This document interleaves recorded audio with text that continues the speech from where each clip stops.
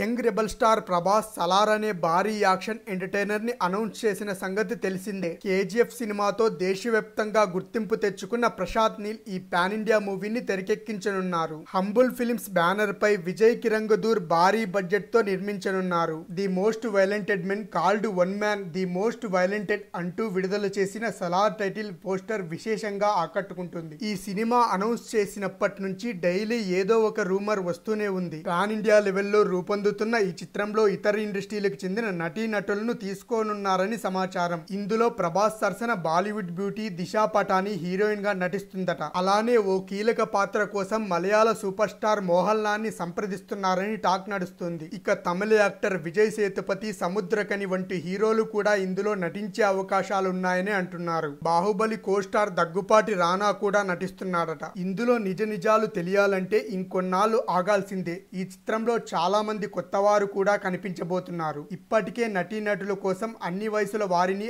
ఆడిషన్స్కు నిర్వహించారు. Pan India లెవెల్లో రూపొందుతున్న ఈ చిత్రాన్ని వచ్చే జనవరిలో స్టార్ట్ చేస్తామని నిర్మాతలు తెలిపారు. అయితే ప్రశాంత్ నీల్ కేవలం నాలుగు నెలల్లో సలార్ షూటింగ్ పూర్తి చేసి రెండు వేల ఇరవై ఒకటిలోనే విడుదల చేసేలా ప్లాన్ చేసుకుంటున్నారట. ఈ భారీ యాక్షన్ ఎంటర్టైనర్ ఎలాంటి సంచలనాలు నమోదు చేయబోతుందో చూడాలి.